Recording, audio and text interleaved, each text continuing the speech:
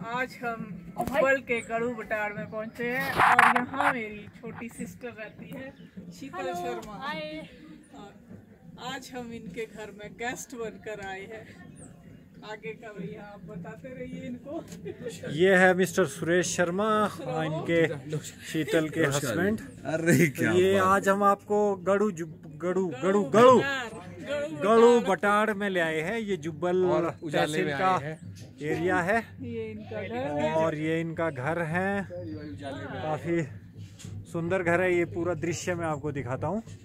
लेकिन रोड से थोड़ा सा हट के इनका घर है तो थोड़ा सा पैदल भी चल के आना पड़ा हमारे को। पहाड़ों का जीवन किस प्रकार से होता है। और ये सामने का एरिया भी आप देख पा रहे होगे। ये नीचे भी विलेज है। किस प्रकार से लोग यहाँ पे रहते हैं। ये देखिए आप अच्छे घर है चादर के छत लगी हुई है इसमें क्योंकि बर्फ़ यहाँ पे गिरती है ये सामने का व्यूज़ है। ये देखिए आप सामने काफ़ी एप्पल बेल्ट है ये पूरा। जितने भी आपको पेड़ ये दिख रहे हैं छोटे वाले ये सारे सेब के पेड़ हैं तो एप्पल बेल्ट है ये। और ऊपर को कुछ बिना नेट वाले हैं तो ये भी सेब ही है। तो ये जो ऊपर का आपको एरिया दिख रहा है ये कायल देवदार के वृक्ष है। ये काफ़ी आ, अच्छी जगह है ये। ये देखिए जनाब ये कौन सा सेब है? सेब का पौधा है। ये इसके बारे में मिस्टर सुरेश शर्मा थोड़ा बताएँगे। ये टेबल ग्राफ्टिंग है। ये क्या बोलते क्या वो किंग रॉट है।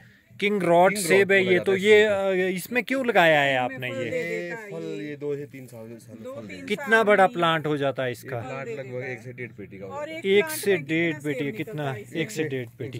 तो ये यूँ क्यों लगाया है आपने? ज़मीन में लगाते हैं लोग तो सेब को।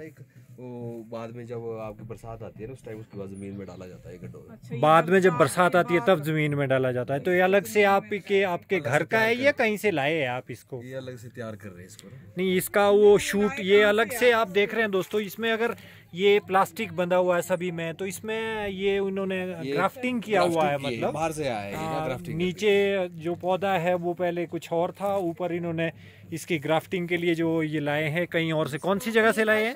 ये हमारे लो हाइट से आया है। ये कौन सी जगह से लाए हैं आप? लो हाइट से आया है। ये लो हाइट जगह का नाम इनको भी मालूम नहीं है। नाम नहीं। हाँ, जगह का लो हाइट से आया है। ये कहीं बाहर से लाए हैं ये।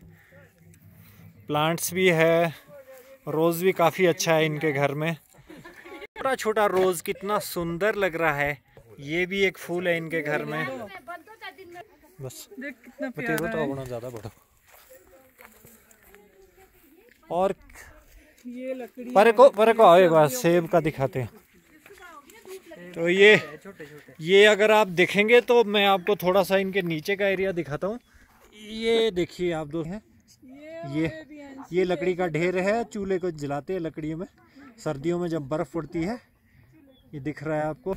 ये इनका किचन है दोस्तों। किचन में नमस्कार जी किचन है। किचन में दूध की मशीन चल रही है। और बहुत अच्छा ये इनके सास है। ये ये देखिए ये शिव महापुराण की ये कथा है यहाँ पे। शेर- शेर पाला हुआ है इन्होंने। इसका नाम शेरू है। इसका नाम शेरू है। इसका नाम शेरू है। ये देखिए आप इसकी आँखें देखिए। सुरेश जी से डरती है ये क्या? सुरेश जी। ये शिवरात्रि के दिन बनाया जाता है। ये शिवरात्रि के दिन भोलेनाथ के नाम से रखा जाता है। इसको इनकी भाषा में चंदुआ बोलते हैं। चंदुआ इसकी चंदुआ बोलते हैं। इसकी भी अपनी वो है है महादेव के लिए रखा जाता है ये। रॉयल वैरायटी हाँ, ये फ्रेंड्स ये रॉयल सेब जो रॉयल के नाम से जाना जाता है अभी मैं आपको नज़दीक से क्लोज व्यू दिखाता हूँ इसका। ये देखिए। ये देखिए आप। इस पौधे में कितने ये अभी लगा है छोटा है सेब अभी ये। ये अभी सितंबर में और सितंबर तक निकलेगा ये। ये देखिए आप क्लोज व्यू इसका। इसीलिए ये जो आपको दिख रहा है पार सारी जालियाँ वगैरह दिख रही है इसीलिए ढका जाता है इसको। ये नंदपुर का एरिया ये नंदपुर जुब्बल में जो एरिया आता है छाजपुर नंदपुर और इधर वाला गिलटार गिलटाड़ ये काफ़ी सारा एरिया है इधर को। हाँ घर भी काफ़ी सुंदर बनाया है इन्होंने। बहुत सुंदर घर है। सुंदर पत्नी है सुंदर घर है सब एरिया भी सुंदर है।